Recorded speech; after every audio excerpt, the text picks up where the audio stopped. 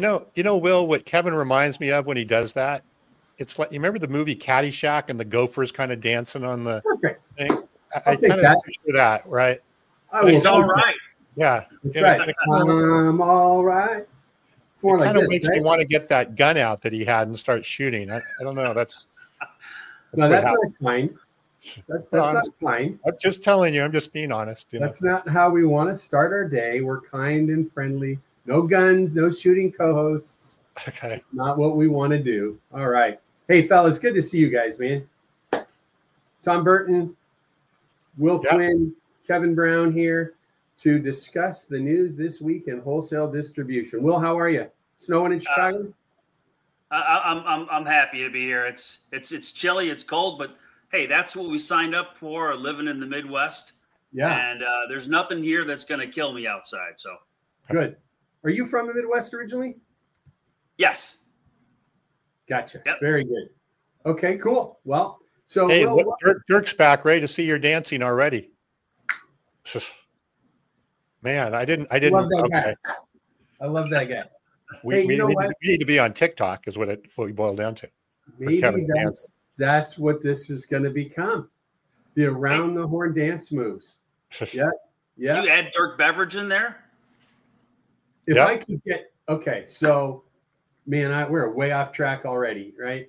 Um, this is this is funny. So I was messaging with Dirk last night, uh, and Dirk Beveridge was on with us last week, and uh, just a phenomenal writer, speaker, and a supporter of uh, independently owned and wholesale distribution in general, but distribution across the board. But we were messaging yesterday because we found we have a mutual friend, and I'm not going to say who that mutual friend is, but what uh, I'm going to try and pull together is get uh, Dirk back on with this other gentleman who's a, a global keynote speaker and very well known, which turned out it's a mutual friend of both of ours. And we're going to do a people episode, hopefully April, May. So that's a little cat out of the bag. Uh, got a lot of work to do on that yet, but Dirk's got a big event coming up that we're going to try and help him promote. But that's uh, that's that. We'll get working on that this morning. Will Quinn, my friend, introduce yourself to our audience. Uh, a little bit about you, a little bit about Infor, and then we're going to dive into the news. Sure. Thank, thanks again for having me on. Well, I'm Will Quinn. I'm the distribution guy. If anybody else tries to say they're the distribution guy, they're wrong because I trademarked it. So I'm I'm uh, I'm celebrating my third year with Infor. Uh, super excited about that. Infor is a, a global software development company, and our really claim to fame is having industry specific ERP that allow our customers to get a faster time to value. And uh, before joining Infor, I spent my career in the industry. So I came from Grainger. Uh, I spent some time running distribution centers for companies like Coca Cola, MSC Industrial Supply, WEG Electric. And before that, I cut my teeth in supply chain logistics in the Marine Corps. So just a wee bit of experience in distribution. A wee, a wee bit. All right, good. So, Will, how long have you been the distribution guy? Like, how long have you had that that tagline? Officially, it's it's it's about two years now. Okay. and it's and it's it's and, and I've unbelievable. I filed it two years ago, and it's still kind of crawling its way through the system. It's not quite yet. oh, so done. I could go challenge. I could go throw one in a no, no, no, no, no, no, no, no, no, no, no. Very good. Well, I tell you what, you are in fact the distribution guy. Words of wisdom about to flow freely as a comment. Big clap out from Susan Merlo as well. So that's uh, obviously you're well known and looking forward to having you. We've got a sneak guest coming in later in the show today to do a little highlight with us on some cool stuff about M and A and in uh, independently owned distribution as well. So before we dive into the news, let's uh, hit what we have to do a little bit of housekeeping every week. So my name again is Kevin Brown. I'm here with my lifelong friend uh, and business partner Tom Burton. Tom and I are the co-founders of LeadSmart Technologies, who graciously sponsors this event each week and covers the cost of production and so forth. LeadSmart Technologies uh, developed the Channel Cloud AI-enabled CRM and customer intelligence platform and what that does is it enables wholesale distributors and manufacturers, both have modules for each one of them to accelerate growth, uh, bring time to value within their technology investments, and highly uh, understand their customer in ways that they haven't been able to before, which really drives growth within the organization. So we do that only for wholesale distribution and manufacturing. We don't work with companies outside of this arena. So very specific, focused product. We get together every Friday morning here at nine o'clock Pacific on YouTube Live, Facebook Live, and LinkedIn Live. And we talk about a newsletter that we publish, and that newsletter is called Around the Horn in Wholesale Distribution. If you don't get that newsletter and you would like to, couple simple ways, two simple ways to get it, you can send us an email at hello at leadsmarttech.com and we'll get that right out to you. Just request the newsletter. Or we have a website for this podcast and live show. It's called aroundthehornpod.com. So it's www.aroundthehornpod.com. And uh, you can see, listen to past episodes there and uh, sign up for the newsletter. So we uh, review this newsletter. So those of you who are listening later in the day on Apple uh, Podcast, Spotify Podcast, whatever podcast format you might listen to once it's posted there, you won't be seeing the newsletter that the rest of us will, nor these handsome faces. Um, but you will be able to listen to all of the content as well. So I think I got all of that. Let's dive in and uh, start with the, some of the news, huh? So again, we're looking at this around the horn. Uh, well, uh, the around the horn and wholesale distribution newsletter. Got some of our articles posted up here now. The first one we'll talk about today is, and we've talked about this a little bit a few weeks ago, but this is becoming much of a bigger issue about global trade rates related to the Red Sea attacks and the shortage of uh, ability to get container ships through the Suez Canal. So the article talks about 1.3%. Uh, there's a global trade drop in 1.3% already with these. Now, before I throw this out to you guys, I want to tie in on this for a second and put a little context to this, right? I did a little additional research. It talked about uh, roughly 12 to 15% of global trade by volume and about 30% of the world's shipping container traffic goes through the Suez Canal. Uh, 60 to 70% of trade between China and Europe transits the Suez Canal. And then obviously anything from the Middle East that's coming to Europe or North America is going through there as well. So they talk about 200,000 containers are going through there daily today. Typically, it's a half a million. So, Will, you're a uh, logistics and distribution guy. I'm going to throw that your some of your thoughts. Get some of your thoughts on this one first. Yeah, yeah, I was I was going to add that that uh, that statistic about the 12 to 15 percent, but um, yeah, it's it's huge and and and it's and it's continuing to escalate, right? So we're hearing more and more um, attacks and and more and more res, uh, responding attacks from yep.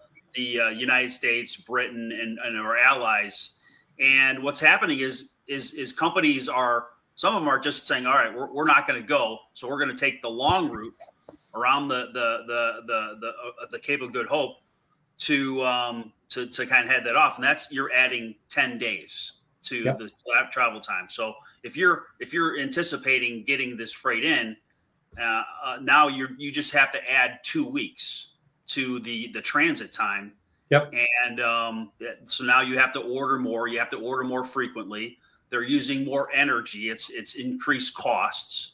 And for the ones that are continuing to go through, now they're having to add mitigation for extra security and, and measures and and kind of retrofitting some of these shipping containers with barbed wire or the you know the big big um, uh, water cannons, uh, uh snipers, that sort of thing.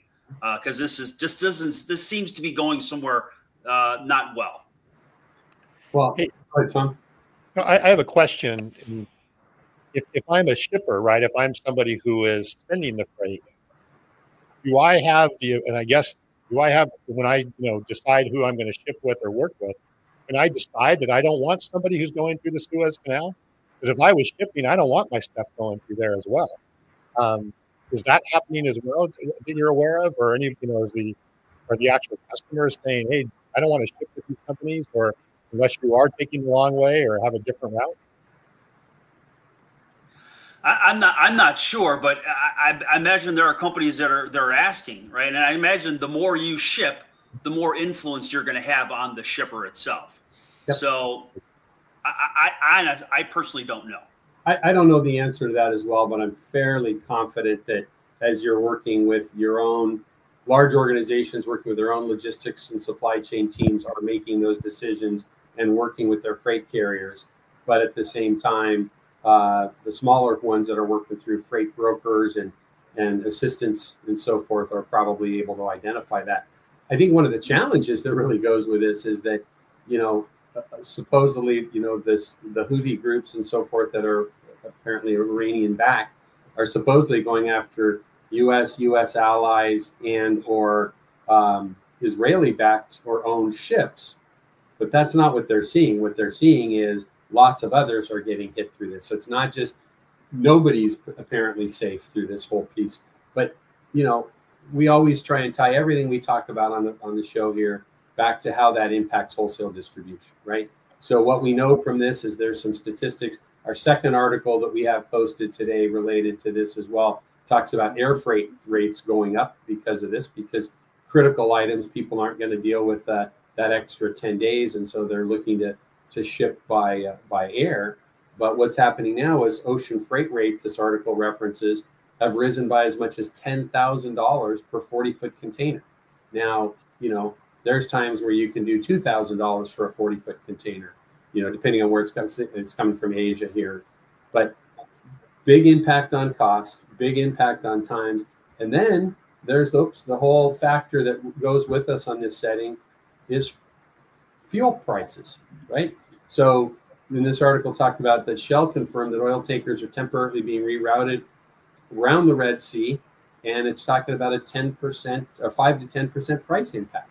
So I don't know what it's like in Illinois, but in Southern California, we're just for the first time starting to see gas under $5 a gallon here.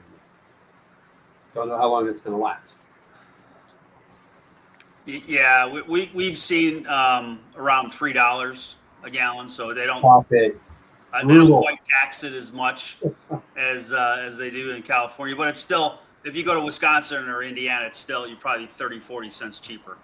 Okay. Yep. Interesting. Good. All right. Well, let's kind of jump ahead. Let's talk about this article about uh, younger B2B buyers accelerating demands. Tom, you want to lead us off on that? Yeah, are you able to you able to hear me okay or Yep. Okay. Yeah, there's a little bit, Kevin, I think on your end a fan. I don't know what's what's going on there, but should be gone now. It is gone now. Boy, that was a big change. Um I'm astounding like that. When I select yeah, the right yeah. microphone, it's amazing how things work correctly. All this technology stuff. so um yeah, so this was a, another, I think, really good article uh, in you know about the, the i think there's two things in this article that really stood out. One is obviously more demand for self-serve and not having to deal with salespeople. And the other is the fact that they were talking a lot about the fact that i believe now the the majority of b2b decision makers are now millennials or younger right? So mm-hmm. us old guys are no longer the majority of us of the decision makers that are that are out there.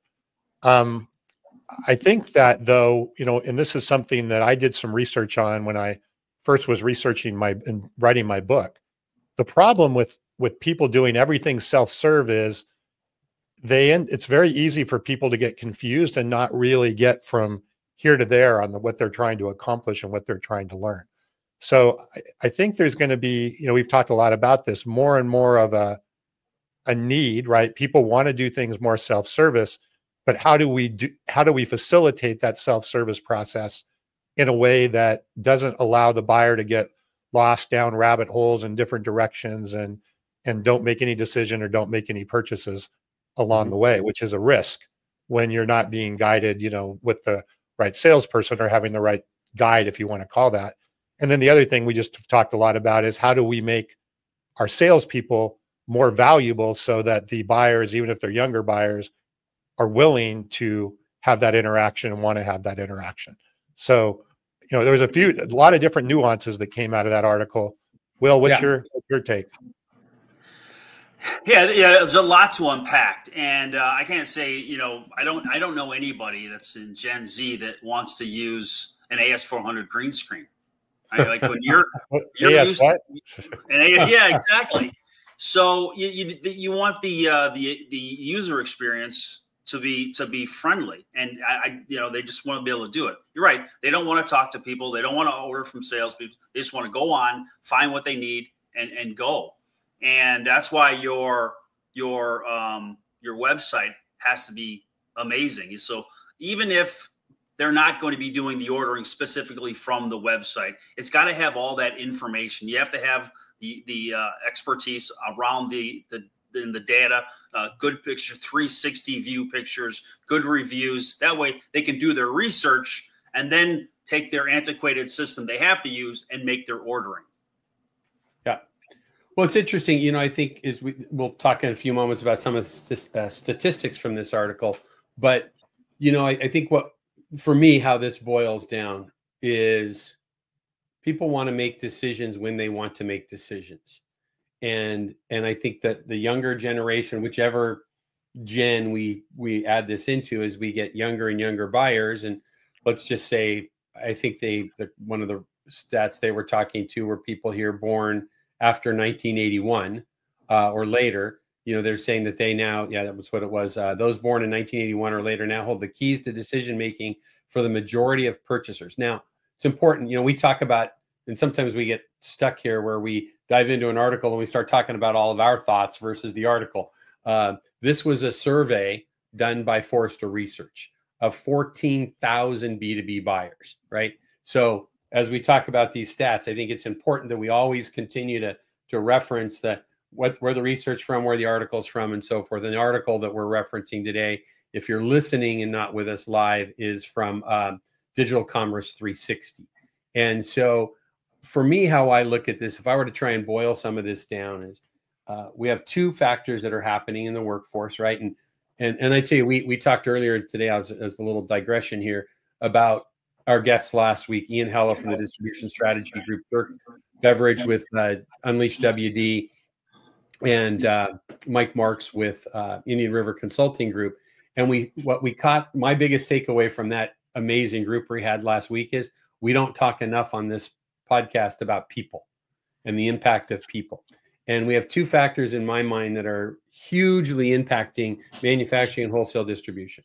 One is if your distributor, your end users, B2B buyer is becoming younger and wants a different experience. Two is the people that you're going to be hiring to sell to that person are going to be younger and younger and younger and younger. And that impacts manufacturers the same way by the buyers at the distributors that are working with manufacturers are becoming younger. And I think what this is personal opinion to go with all these stats is that it's less that the buyer only wants a, and I think if you ask a little bit deeper question than it looks like they did here, I think that the buyer is looking for more flexibility than just an online experience. And it's more about doing things when they want to versus I have an appointment with Joe on Tuesdays at nine, and he brings bagel for the shop. Right. I don't want to have to be ready to see Joe from XYZ Supply at nine o'clock on Tuesday mornings. If I want to get Joe, I want to message Joe. I want to call Joe. I may need Joe to come in, but we'll decide when that is. And I may want to do this purchase at nine o'clock at night from an iPad from home while I have Netflix on right? I think a big part of this is they're looking for the flexibility in when and how they do things because these are the same people that don't think about what they're having for dinner until they decide are they going out or is DoorDash coming to their house? Or yeah, I think there's I think there's three things, right? Yeah. I agree with you. I think they want it where they want it, right? The channel they want it, wherever mm-hmm. that may be, when they want it, to your point.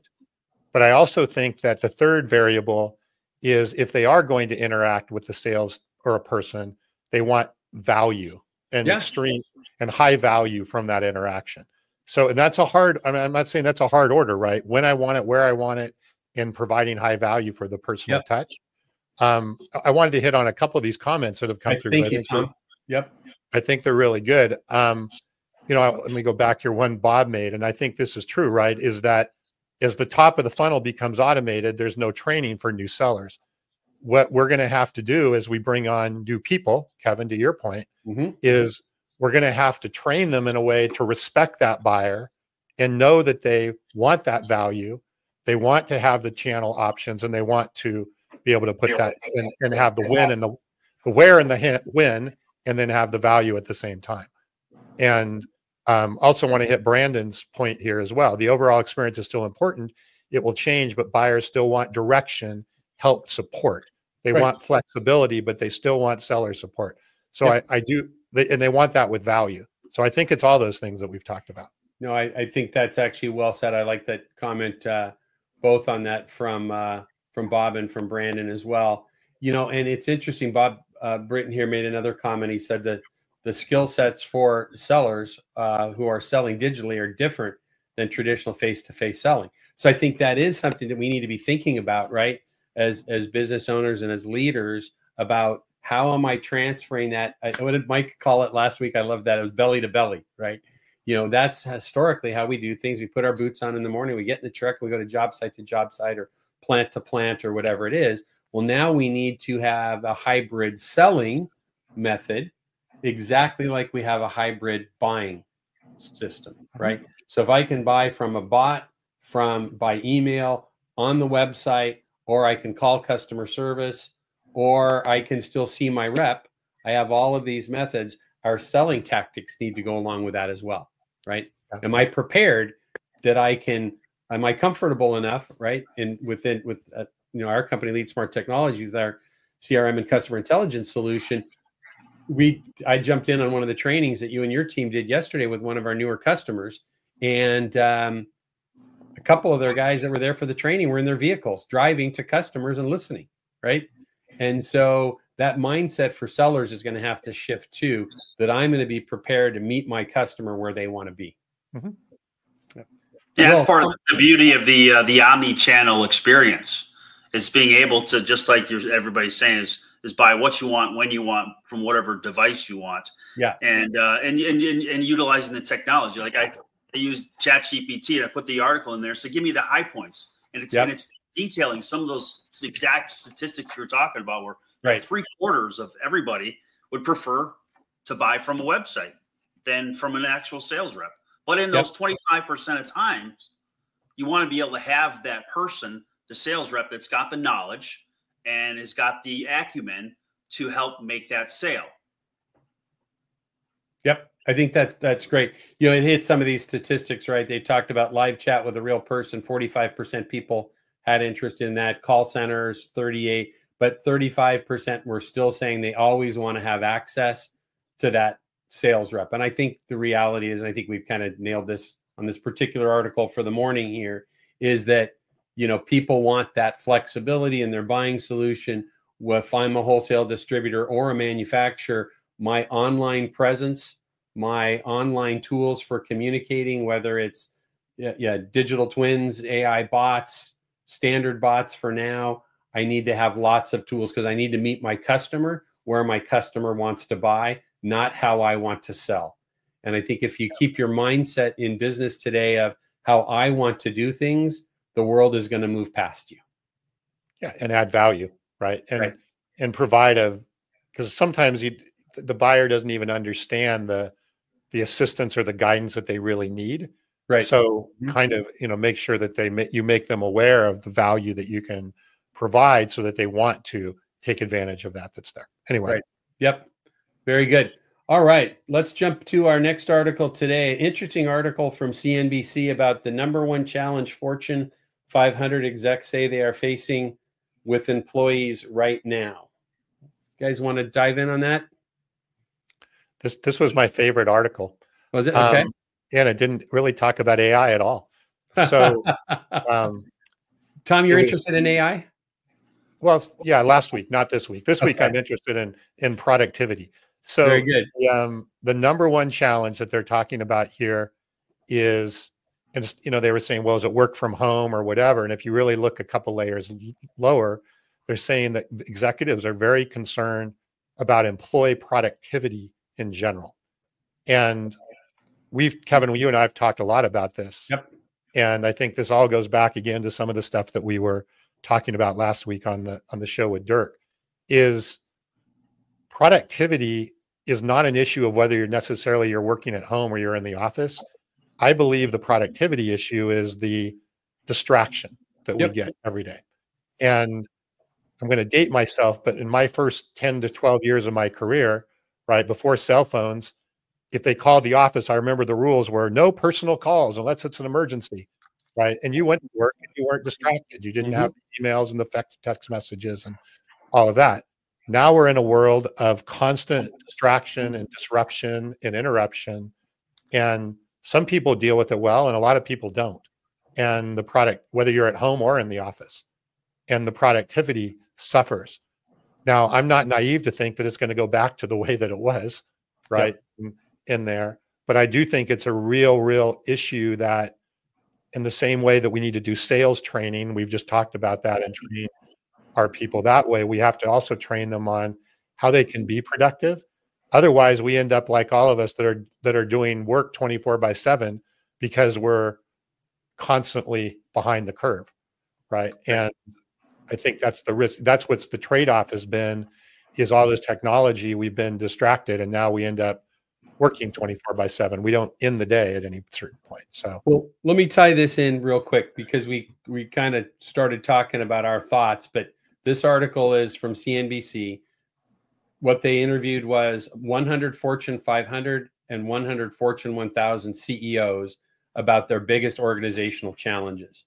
And basically, what they said, and this ties into Tom's thoughts on this, is only a third of the executives with an in office mandate said they thought their in office policies have any impact on productivity.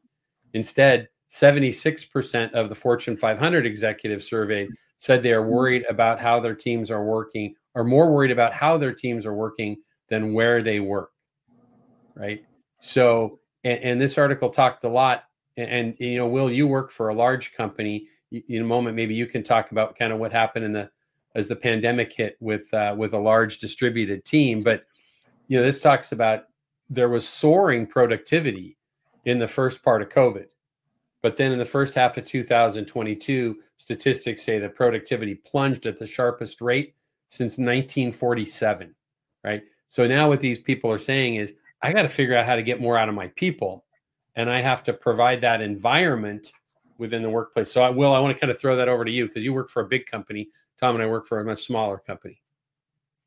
Sure. So at the at the start of the pandemic, the pandemic, I, I was still at Grainger, Hmm. And it was a 1.1 million square foot facility. Wow. And, you know, it was a lot, everything was question marks. Like we didn't have the benefit of knowing what we know now. So it was a scary time.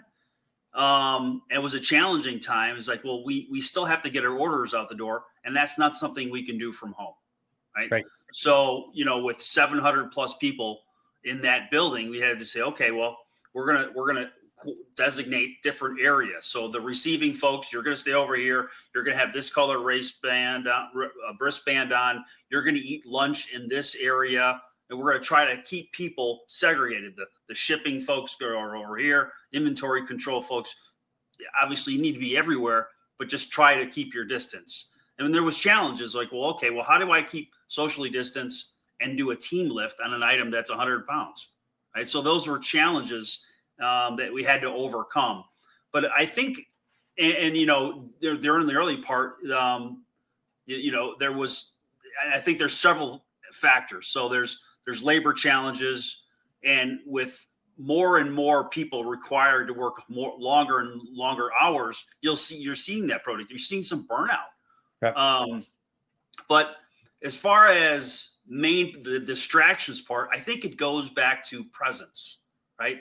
if I'm going to be present at work, I want to focus on a task, right? So if I'm going to say one of my tasks is to write a presentation to do some enablement, I want to focus on that, not get it, not look at every email as it comes in one by one and try mm-hmm. to answer those because the starting, the stopping, the whole idea of of multitasking is just is just not right.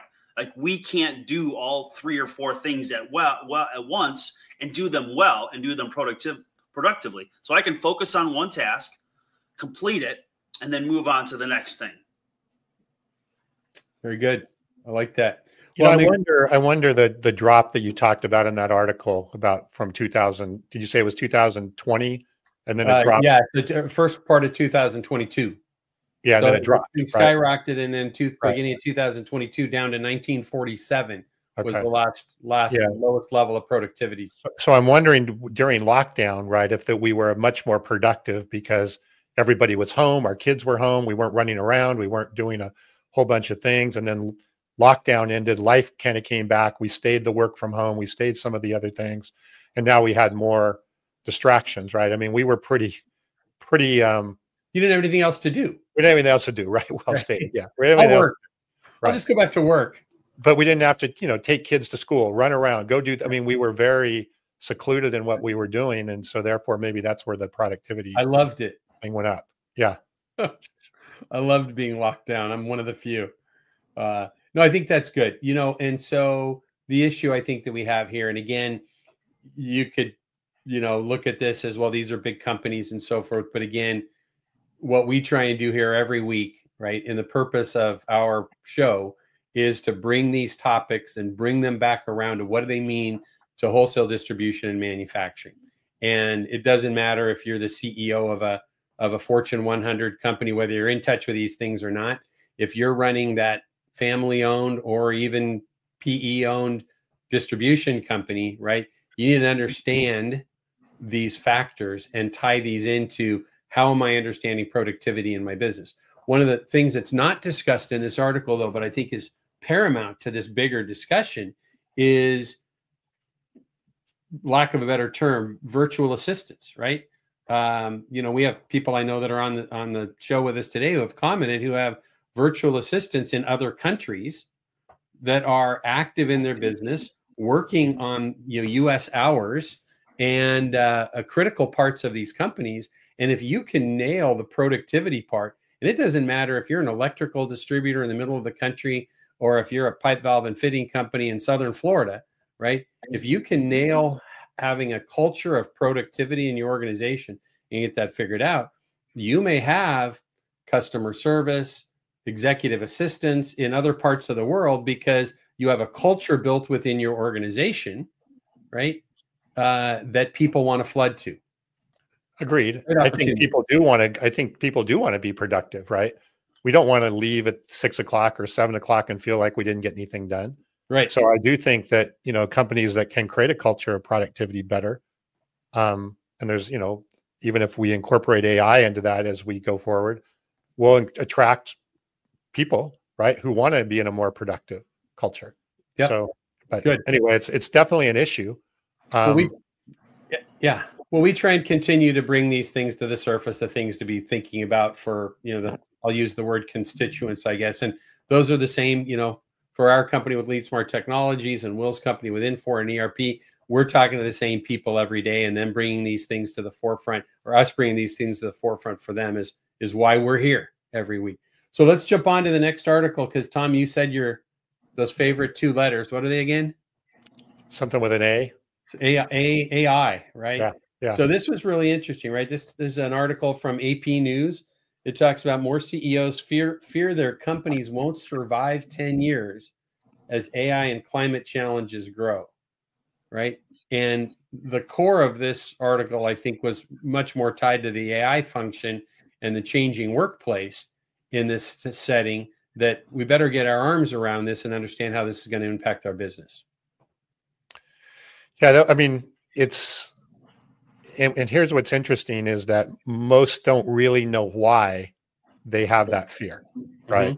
So it's not like I know that this is going to happen and I've, you know, I'm going to be there's a little bit of this mystery that and I think that's where the fear is coming from.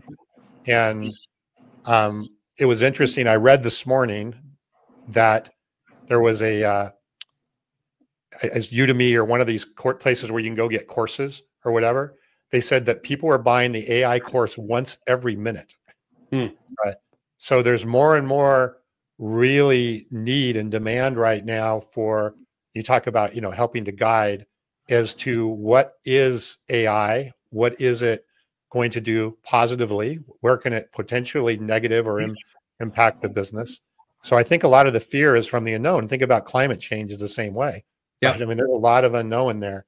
So it's more of a fear of the unknown, I think, than a fear of a specific item. Well, they, you know, they're they're looking at this and they comment in this article, right? And this was 4,700 CEOs, and they they talk about needing. Basically, the quote says uh, they're, they're questioning whether their companies will survive survive the coming decade without a major overhaul because of pressures from things like climate change and technologies like artificial intelligence. So, right, there's going to be cost implications ongoing with with uh, climate change and so forth. But the big factor is can they compete in a marketplace when they're not advancing technologies? And the biggest takeaway from here is they're talking about overhauls of their organization. Now, that's a big, big deal when you're in a large organization, but that can happen a lot quicker um, uh, in a smaller and mid sized organization. Another one of the statistics here that said 45% of the respondents were worried their businesses wouldn't be viable without full reinvention right? Um, that's a big that's a big number. It, it's funny weren't we talking about this just a couple days ago about you, know, you hear this word transformation a lot? Yeah. Digital transformation. Yep. and and will kevin and i were talking about and i'd love your take on this. I believe that the digital transformation that we've been doing for the last 10 years with technology provided really incremental improvement to what we were already doing in our business. But what's going to be happening now with that overhaul you're just talking about is not only am I going to just be adding some technology to improve what I'm my processes or what I'm doing, the processes, the technology, and the people are all going to end up changing. It's going to be a true transformation versus an incremental improvement or, or reinvention. Or, or reinvention, yeah right maybe um, that's a, maybe that's a great term to be looking at right. we've been looking at digital transformation for you know eight ten years of different things now we've got a reinvention potentially because it's not just which erp system or which crm do i have it's what is it doing to impact all facets of my business right and and even and, and again we see that as we talk to our customers about crm they tend to want to just try and automate what they've already been doing Mm-hmm. Now, what we've been trying to do is go, no, no, no, let's take a step back and rethink where the puck is going, not where the puck is right now, and right. where you want to be in a year, two years, three years. And let's make sure that the processes and the structure and the and how you're using the system aligns to that, not just on what you're doing. It's it's a hard thing, right? And that's what I mean about true reinvention or or true uh, transformation. Will, are you seeing that in, in your world? Yeah, and there, there's a lot to unpack there. So at first, I would say is you know you want to see this these tools like artificial intelligence just like that. It's a tool, right? It's it's it's something that I can use to help my business better. I can help serve my customers better. I can do things better. It's no different than in the warehouse with a forklift, right? A forklift is a tool by which I can I can make things better. I can I do things more efficiently. But if I don't understand how to drive a forklift and how to use the forklift, it's not much good to me, right? It doesn't make sense to take an ERP, take it to the cloud, and then do the exact same things that you've always been doing. Because now you just have a hosted environment where now you don't have to upgrade all the time, but you haven't made you haven't made strides to to improve the processes. Now, as terms of revamping or re-engineering your whole business, uh, unless you're you're being left behind. Like if you're in the horse and buggy industry and and now uh, ford has has made a, a car yeah then you need to transform. But if you're just if you're a, an hvac provider or you're providing electrical distribution or industrial supplies you don't need to transform your business because of artificial intelligence machine learning and automation you just need to update your practices your procedures to utilize those tools so that you can increase the uh, efficiency of your employees without just going out there and saying work faster. I think that's a good point. I, I I push on you a little bit with that. I think there are people in that arena that can do exactly what you describe, and I think there's other companies out there that that reinvention is probably going to be what they're going to need because they are. I mean, we were joking earlier today, right, about you know green screens on on big terminals, and and we see that sometimes, and or or very antiquated technology and some of these companies are going to need to figure out how to you know i mean it's, it's not uncommon right that we still see you know not, i don't want to say inventory cards but you know something similar still in warehouses here and there where yeah we have some automation but we have a, a, a clipboard you know hanging on the end of the pallet rack too uh, mm-hmm. so there's going to be a balancing act with this but that, that's i appreciate those those are good comments will and, and it's so valuable when we have guests like you because you know with an organization that you work for Infor with your broad scope globally with customers all over the world and a, one of the main uh, i don't know the size but i'm going to su- suggest wholesale distribution and manufacturing is probably a large vertical for Infor. Um, your insights are extremely valuable. Yeah, I want to so, hit Brandon's comment real quick, Kevin, before we move on, because I think it ties together what we just talked about. He says, I believe reinvention is a good term too, because it helps create the mindset that we have to think differently no matter what. Yep. AI causes us to think differently.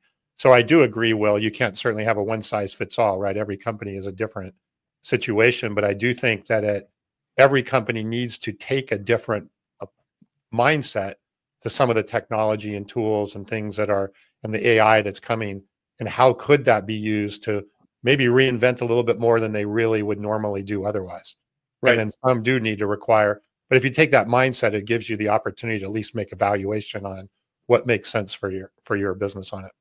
Good. Let's jump ahead, guys. We're going to run short on time, and we've got a lot to cover still. So each week, uh, I'm going to kind of put this plug and reminder in that uh, if you're listening on the podcast that we do each, uh, this the, should say that this live broadcast goes into our podcast format later in the day today. If you're listening in on the podcast, what we're looking at on our screens and reviewing is the Around the Horn and Wholesale Distribution newsletter that goes out every Friday morning, oh dark 30 Pacific time to thousands and thousands of people. And we recap the news of the world and uh, North America in particular and try and tie that together, how that impacts manufacturing wholesale distribution. If you don't get that newsletter, uh, please let us know. You can reach us at hello at leadsmarttech.com and request the newsletter, or just go to our website for the podcast, which is uh, www.aroundthehornpod.com, uh, and we will get that out to you. So you're not seeing what the rest of the audience that's live is seeing. If you want to catch this, you can also go anytime you want to the LeadSmart Technologies uh, page on channel on YouTube, Facebook, or LinkedIn, and the live broadcasts are recorded there. So, next article, we have a feature each week in the newsletter called Tech Talk. We have just a couple of moments before we need to jump in because we're going to bring another guest in in a couple of minutes. Uh, AI chatbots for ERP, assessing the benefits and the tools. I am just going to go straight to Will, the distribution guy and ERP guy, and I'll let you get started on this one, and Tom and I'll chime in. Sure, I think that goes back to the first couple articles you were seeing. It's like, well, how can I get my questions answered without actually having to talk to somebody? How you know, how can I do something more efficiently? I know when these first things came out, it was irritating. It's like yep. I just I, I just want to talk to a person. But now that the technology's been out there for years, like okay, ninety percent of my questions I can answer through a chatbot, and the other ten percent, as long as I have a person I can talk to, that that's great. Yep. Well, you know what, what's interesting is I'm watching is and AI tools are just going to make this better, better, better, and better and better. Is I don't want to talk to a bot that just takes me to a knowledge base and gives me seven articles to look at, right? Because that's what we're seeing so often still today with within organizations. Uh, is hey, here's the answer. It's probably in one of these, and then it just is ready to push you out and says, "Did you find your answer successfully of what you were looking for?" No, I didn't let me chat with a human who actually knows the information or a digital twin is what's really going to be wonderful, right? Because I can have John or Judy, who are my key support people that would know the answer to everything, that have a digital twin that can actually communicate to a certain level. So I'm looking forward to these these things advancing a lot. Before I throw this to you, Tom, though, what I love probably most about this is you know, there's customer facing things, but a lot of what they reference in this article too about chatbots with ERP is available for the employee that's using the system. That's what really gets neat, intriguing for me is, hey, you know what? It's great that we talk because we talk constantly about whether it's e-commerce or whatever it might be and the tools that you have for your customer. But what about what your people get in these tools to help them do their job better through a bot?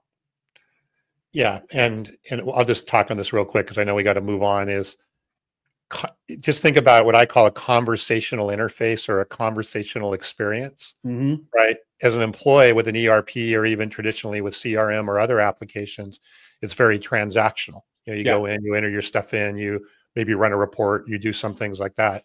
But if I have the ability to have a conversation with my data, right? Yep. Talk to my data, that's the word that we use, which I believe these chatbots and especially AI give you the opportunity, whether you're an internal employee or an external customer, to talk with the data and use that to then get relevant, valuable information back Mhm. versus those other chat bots back in the, you know, that that you just pointed out that are all based around Knowl- You know, knowledge bases and stuff. Yeah.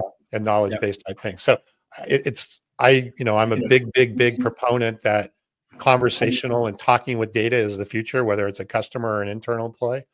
And um, I think you know ERP is a great place for that to happen, along with you know CRM and other sort of data data centric applications the organization. Good. Well, let's jump. Let's jump ahead. That was a good article. I appreciate Will's feedback. Um, I'm going to pass right by our because I'm going to come back to it. Each week we have a segment in the newsletter called Industry Scuttlebutt. She's typically tied to M and A or some other good announcements with that. Uh, but we also have a section called In Review, and the In Review section in the newsletter is where we might post another article about something that we've talked about significantly in the past. Uh, we were talking earlier about the Suez Canal and that impact on global shipping. We have an article we posted this week about California's long and battled ports are winning back some imports. So Long Beach, LA Harbor, some good news in there. And then we post a good good read is what we call it each week. It's just an interesting article and it's talking about AI at Davos and the glitterati they called it at Davos and all the discussion. So if you're watching AI, there's some highlights and some low lights coming out of the Davos Economic uh, Forum in in Switzerland right now, uh, going on currently. That that article is about. So the uh, important piece we want to talk about this week is the top warehouse trends of 2024, and this is an article that um, I need to. Tom, how's you normally drive the show here? If I want to share Will's article, this is Will's article. I need to stop and reshare, right? I believe that is well. You don't need to stop and reshare, but you need to share a different. Yep, I will fix this here for us. And um, here we go. Will Quinn, our guest today, wrote this great article posted in Industrial Supply Magazine, The Future of Distribution 10 Top Trends and Predictions for the Next Decade. So, Will, let's uh, let you dive in and hit a few of the highlights from that, if you wouldn't mind. Sure. So, it, it, as we've been talking about efficiency, uh, there's just some, there's a lot of exciting technologies that are coming out that are going to be help being able to help distributors, you know, in the next 10 years. And it's really time that they get, you know, everybody gets on board because the, the, uh, what we call industry 4.0 is really about artificial intelligence and machine learning and automation and robots. And right around the corner is industry 5.0 right? And a lot of companies haven't even caught up to 4.0 so 5.0 is is is cobots is are the the robots that are working with people mm-hmm. to help make those jobs uh, better. Like well let's have the the robot do the heavy lifting and i'm walking along with that robot.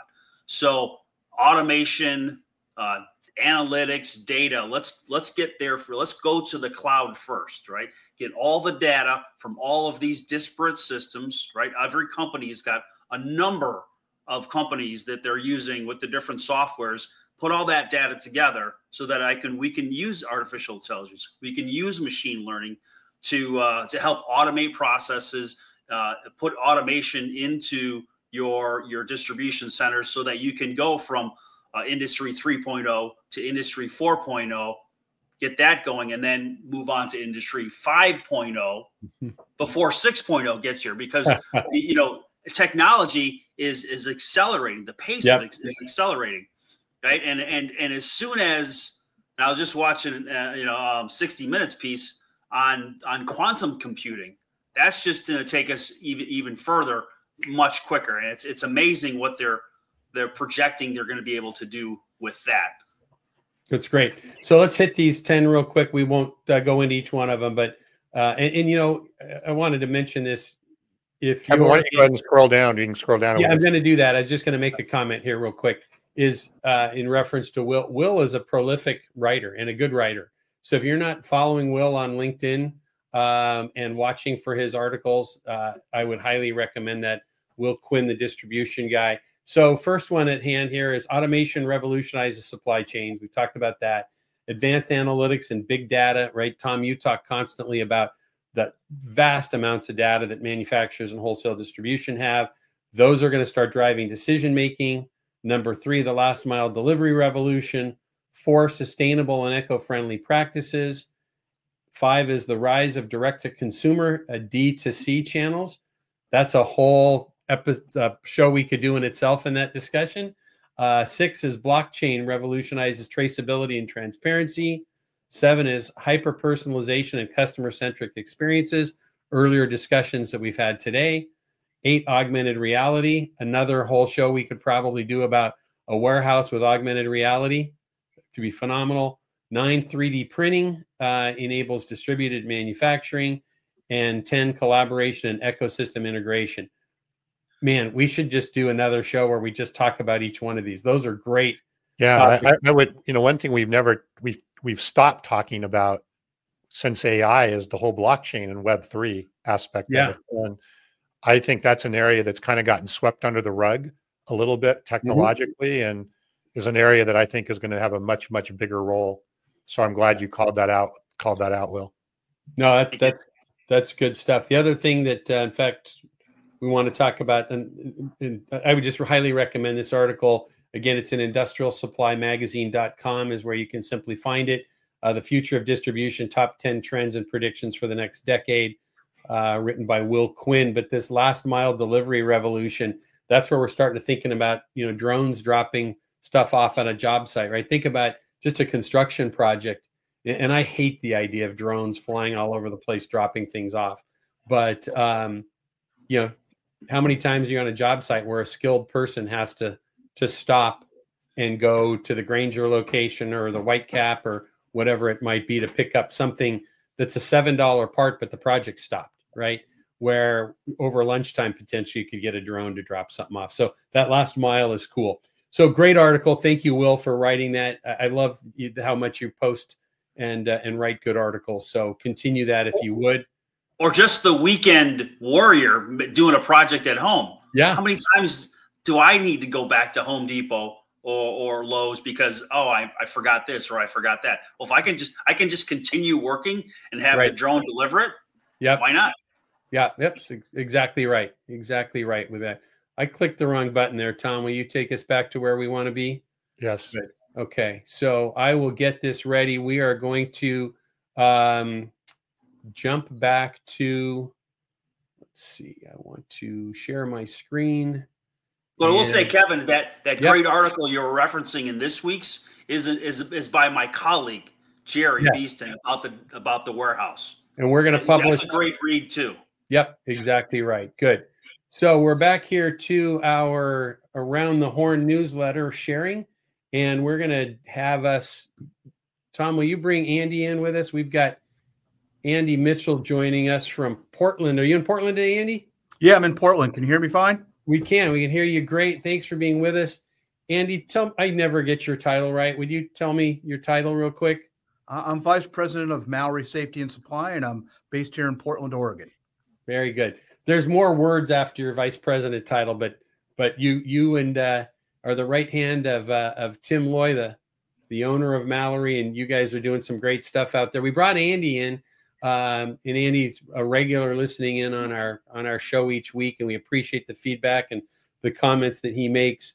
Uh, as you can see on the screen right now in our industry scuttlebutt section that we have each week, we talk a little bit about M&A. We've got an article here about border states and an acquisition in the electrical market, large acquisition, um, or excuse me, a large goal that a, a major roofing distributor has for e-commerce sales. But Andy, you guys just announced, I think yesterday is when that went out, an announcement of a of another acquisition. And, and could you kind of share with us a little bit about the last, I don't know what the right number is here, Andy. Is it the last five years or so? Uh, Mallory's Yeah, kind of this, an acquisition um, terror. This acquisition is the uh, 14th I've done with Tim Loy here in the last uh, eight and a half years. Eight you know, we've grown the business from uh, in the last eight and a half years from about 60 million and basically being the Bay Area and Pacific Northwest to a last year a quarter of a billion dollars and a national distribution company. As of today, we've got about 600 employees in 40 locations.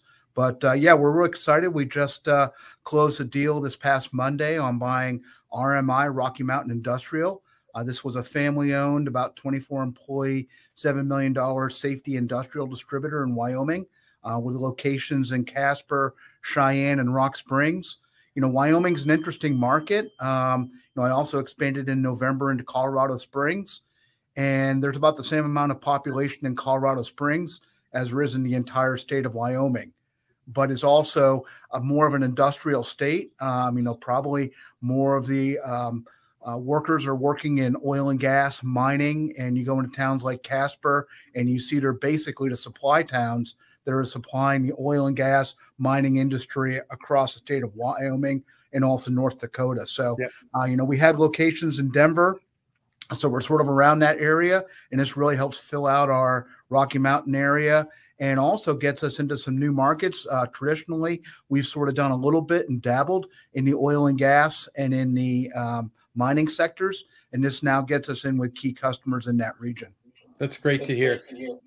So the big thing we were kind of wanting to, to catch today as well, Andy, and and and you when I first met you and started calling on you when I was still on the the, the manufacturing side uh, and called on you, you guys were mostly kind of Pacific Northwest as you described earlier, but now you have a national footprint pretty much, right? Where how far east do you go? Uh, we have facilities in Florida and also in Boston. Yep. So and those all came through acquisition, right? Um, yes, acquisition, and we've done a couple of organics in Phoenix and Amarillo. Very good. So, you know what I think would be valuable for our audience today is, you know, your Mallory is on, and, and correct me if I if I don't state this perfectly, but safety distribution and some industrial, and then we see a lot of large industrial distributors also do a little bit of safety. And you cross paths with quite a number of those companies who are are even in some of the same uh, associations and or buying groups that as you're part of and both you and tim are on different boards with affiliated distributors um, you see this with some others and not just in your region but others in other parts of the country where there is a growth in acquisition by family owned and independently owned wholesale distributors kind of I don't want to just say gobbling up the little guys, but doing strategic acquisitions partnerships and buying even distressed companies. Can you maybe talk a little bit about kind of that whole process, not just Mallory, but what are we seeing across M&A in independently owned distribution, which is very different than private equity firms buying up companies and or national uh, publicly traded national companies buying up companies here and there. Yeah, I mean, we could spend a whole session on this, but I'll just try to cliff note it a little bit. The marketplace is getting very challenging for the small distributors. And there's a lot of family owned companies that have a passion towards worker safety and giving the best in supply chain to their customers. The challenging thing is, is that many of the large manufacturers are rationalizing their distribution, sending many of their customers to wholesale distribution, which there's a place for wholesale distribution. Sure. But of course, that gives you a few points off. And in this industry, which is a single digit margin profitability EBITDA industry, three to five points could knock you in or out of the business out there. Uh, the other challenging thing is in the last three to five years, the banking industry has become more challenging. Um, and so, you know, we continue to talk to our staff. If you bring on a customer, it's going to do $100,000 a month. Well, I probably need to buy 45 days worth of inventory. And then the customer is not going to pay me for 45 to 60 days. Yeah. And now all of a sudden, how do you float that $100,000 worth of cash flow? And if your bank isn't working with you and you don't have the right size and also generating the profitability to make your banking partners happy, you can't continue to grow. We continue to keep in touch with probably 40 different companies across the country. And this one was an interesting one. About two or three years ago, we sat down with the family, had a little visit in Casper, and said, Hey, what's going on? Told the Mallory story of we're the same as you are. It's just we've gotten bigger and we can we can have all those attributes that compete with Will's former employer and so forth and so on. Yeah. and uh, you, you know, can say Grainger literally came up four weeks ago on Wednesday, and a variety of events have happened over the last two years that have put them in a situation that basically they needed to sell or they needed to basically close down the business. Yep. And So the business was a marginal business out there. And so literally in a matter of four weeks, we uh, Tim and I flew out there two weeks ago, did two days of due diligence. I brought a team out there to do inventory.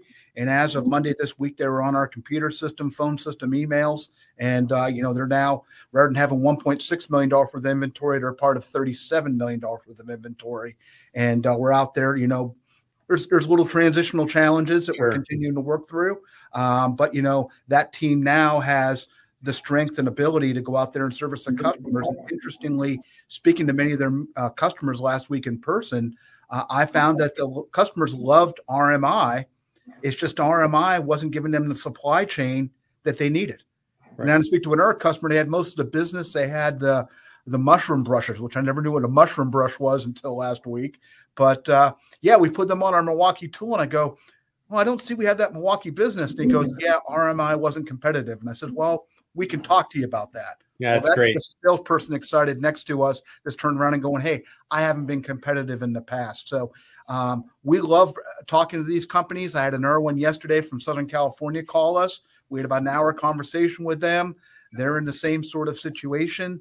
Uh, so you know, we're continuing to you know pick up opportunities and get these people that have a passion for servicing customers, for solving solutions for customers, and then bring them part of a larger organization so they can go out and do what they really like to do and not worry about the financing, the employee issues, the HR, and all those other issues out there that larger companies need to deal with. And Andy, this this model is happening across the board. It does. It's not just safety. It's industrial supply. It's gas and welding equipment. It's construction equipment. It's uh, building materials. It's across wholesale distribution. Correct. Yeah, I mean, we're seeing it in all channels out there. And, you know, we're, as you mentioned, we're part of affiliated distributors. And, you know, we have a number of our members, whether it's uh, Martin or, um, you know, Deval Safety or Blackhawk that are continuing to lead. And, you know, we want to have the independents, the smaller independents continue to succeed, but it is a challenging marketplace out there. And, you know, we have three or four offers right now out there.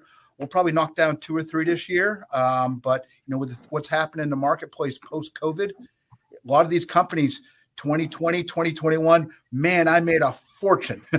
Sold a whole bunch of hand sanitizer. Mhm. and then all of a sudden it woke up in 2022 i mean every one of these companies i mean i just inherited $100000 worth of kn95s and n95s in wyoming. Yeah. all these companies went deep in this stuff. They can't sell it. The cost of doing business has gotten up higher and it's just a very challenging marketplace that they've woken up to and they want to continue to ensure continuality for their customers and for their associates That's great. Good. Tom, uh, Will, any questions or thoughts about some of Andy's comments? I have lots of questions and thoughts, but I will save them for another time. Andy, you'll have to come join us because I have lots of questions that I would love to dig into on some of the stuff you've been saying. Good. well, Well, we we've really got a appreciate your show and your format i mean it's really i think bringing the leaders in the industry together and helping us to think outside the box i think many of us are focused inside our business on a day-to-day type basis and it's nice to be able to break out and do something else so well, we appreciate this opportunity to network and learn I would just say there's there's ample opportunity for what companies like Andy is doing because if you look at just industrial supply, it's extremely fragmented. You may have Grainger and McMaster-Carr and MSC. They have a tiny percent of the overall uh, right. uh, business. So there's lots of opportunities for companies like Andy's to continue doing what they're doing. And and hats off to these family-owned businesses, the kind of businesses that Dirk Beveridge highlights in his We Supply America tour that really care about people. That's exactly right. Well, good. Well, that's going to kind of wrap things up for us today. Andy, thanks for being with us. We really appreciate one you being with us consistently. Don't go anywhere. Just hang on for a couple minutes. Will, thank you so much for being with us. We always appreciate one your feedback when you're with us, can, uh, popping comments in, and uh, and our interaction that we have on LinkedIn and other formats. But having you as a guest is great. We appreciate that. Uh, Tom, anything to add today in closing? No, thanks for All to both of you. We're going to wish I just every say Thanks, Kevin. Keep dancing. Doesn't matter what Tom says. Thanks, buddy. Appreciate it. No matter whether Tom wants to shoot me like I'm the the mole on uh, the gopher on uh, Caddyshack, huh? I'll just stick the hose in the hole. That's There all. you do. go. That's safer for us. Yeah, Hey, yeah. everybody that was with us today that made comments uh, that were listening. We had a large audience uh, across LinkedIn, YouTube Live, Facebook Live, and later today, those that are listening from the podcast when it goes uh, uh, onto the format. Thank you for being with us. We appreciate you every week. If you have thoughts or ideas of what we could do better, guests we could have, topics we should cover, please reach out and let us know. Find me, Tom, on LinkedIn. Find us directly through uh, LeadSmart Technologies. But we thank you all for being with us. We wish you a wonderful weekend. Be kind, be safe, and do good things. Thanks, everyone.